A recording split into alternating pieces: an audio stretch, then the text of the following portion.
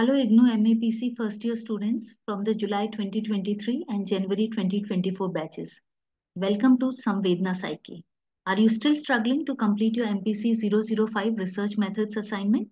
Well, in this video, I'll be sharing the fully solved assignment answers to help you breeze through the task. And don't worry if you haven't started writing assignments yet.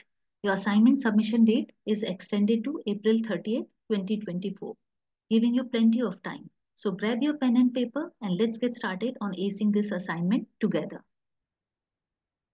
A reminder before you start writing to include the title page and the question paper. I will scroll down slowly so that you can take the screenshots as I'll not be going in detail of the answers. Before writing the answers, mention the subject along with subject code, tutor marked assignment, course code, assignment code. Section A, question 1, define sampling, discuss different methods of sampling. Before you start writing the answer, remember to leave a left margin of 3 to 4 centimeters and after every answer, leave a space of 3 to 5 lines. Do include diagrams wherever necessary. We will start with the definition Sampling is a systematic process of selecting a subset of individuals from a larger population with the aim of studying them to draw conclusions about the entire population. Sampling methods are mainly of two types.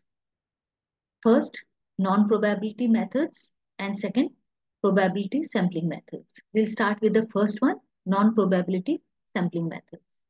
These do not allow for determining the likelihood of elements or groups to be included in the sample and do not permit estimating how well sample characteristics represent the overall population. These are of various types, convenience sampling, quota sampling, purposive sampling, snowball sampling, and systematic sampling. Then second method, probability sampling methods. These ensure unbiased selection of sample units by clearly defining the likelihood of including each element or individual. And this results in reducing the sampling errors and assessing the sample results for precision, accuracy, efficiency, and for making conclusions which are suitable for generalization and comparison with similar type of populations. Types, simple random sampling, stratified random sampling, and cluster sampling. And with this, you conclude your first answer. Question 2. Discuss the steps involved in research process. Research is a systematic approach and it involves several interconnected steps, which I have discussed point-wise, starting with identification of the problem, formulating a hypothesis, identifying, manipulating, and controlling variables, formulating a research design, constructing devices or tools for observation and measurement, sample selection and data collection, data analysis and interpretation, drawing conclusions, and lastly, preparation of report and publication. And after this, conclude your answer. Question 3. Discuss the meaning, types and relevance of qualitative research. Explain the ethical guidelines in qualitative research. We'll start with meaning. This aims to explore and understand phenomena in their natural setting. Briefly describe the meaning. Then come to types. There are different types of qualitative research, including case study, ethnography, historical method, grounded theory, and phenomenology. Next is relevance of qualitative research in psychology. Qualitative research is very important for understanding human nature, their behavior and experiences. And it provides textual description of people's experiences, helps to identify and explain social norms, gender roles, socio-economic influences, and religious beliefs. It helps in understanding unquantifiable phenomena. The data collection is done in natural setting and it helps in determining meaningful factors. Ethical guidelines, respect for respondents, cultural sensitivity, transparency and informed consent, confidentiality, beneficence and non-maleficence, risk-benefit analysis, and community engagement. And then conclude your answer. Now let's move on to section B.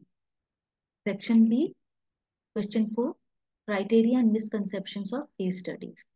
First criteria, it relies on information-oriented sampling. Emphasis is placed on deeper causes and consequences. Researcher consider critical cases that highlight important aspects of the phenomenon or extreme or deviant cases that offer contrasting perspective. And researcher decides whether to conduct single case or multiple case studies or whether to keep the case holistic or incorporate some embedded subcases. Misconceptions about case studies. A very common misconception is the theoretical knowledge gained through case study is more important than the practical knowledge. Another misconception is that the case studies are good for generation of hypothesis, but not for hypothesis testing or developing a theory. Many critics believe that they are susceptible to confirmation bias due to researchers' preconceived notions. And there is difficulty in generalization. While findings may not apply universally, but still they hold theoretical understanding with contextual insights and illustrative examples. And then conclude your answer. Question 5, types of variables. First, stimulus organism and response variables. Stimulus variables are external factors that result in a response. Organism variables are the physiological or psychological characteristics of individual and response variables are observable behaviors or actions of the organism in response to a stimulus variable. Independent and dependent variables. Independent variables are manipulated by the researcher to observe the effect on the dependent variable and dependent variables vary according to the change in the independent variable. Extraneous and confounded variable. Extraneous variables are factors other than the independent variable which can influence the dependent variable and potentially they also confound the result. And confounding of variables occur when the effects of two variables become intertwined and it becomes difficult to find out their individual effect. Active and attribute variables. Active variables are manipulated by the researcher such as rewards or teaching methods, while attribute variables are inherent characteristics of the individuals which cannot be manipulated. Quantitative and categorical variables. Quantitative variables vary in amount and can be measured precisely, while categorical variables vary in kind or category. Continuous and discrete variables. Continuous variables can take on any value within a range and can be measured with arbitrary precision and discrete variables have distinct categories or values with clear gaps between them. Question 6. Advantages and disadvantages of quasi-experimental design. We'll start with advantages. First, they have practicality in social science. They are complementary to case studies. They provide resource efficiency as they reduce the time and resource required for experimentation. They enhance external validity by replicating natural settings. These enhance external validity. And the last one, they provide a means to identify general trends in complex social phenomena. Disadvantages, they have limited causal inference. Without proper randomization, they provide results which are difficult to interpret causally. Threats to internal validity, Due to absence of random assignment, new threats to internal validity can be generated. Difficulty in controlling variables, inability to establish causation, and limited applicability in certain contexts. Question 7. Types of questions that can be used in a survey research. Types of questions that can be used are divided into two main categories. structured questions and unstructured questions. Structured questions are meticulously planned and predefined in format. They have a clear set of response options. Types of structured questions. They can be dichotomous questions, which have only two possible choices like yes or no, true or false, etc. Next, level of measurement based questions. This includes nominal questions which classify respondents into categories without any inherent order. Ordinal questions which require ranking or preference and interval questions which involve rating or scaling. Third type, filter or contingency questions. These lead respondents through a series of subsequent questions based on their initial responses. Second type, unstructured questions. These are open-ended and flexible questions. And then you will conclude your answer. Question 8, types of correlational research design. These designs are very important in exploring associations and predicting outcomes without necessarily implying causation. And types are first, association between two variables. Next, association amongst more than two variables and the last prediction using regression analysis. After this, you'll conclude your answer. Let's move on to section C. Section C, difference between causal comparative and experimental research design. Although both aim to establish cause and effect relationship, but still they differ in their methodology. And then you'll write briefly about the difference.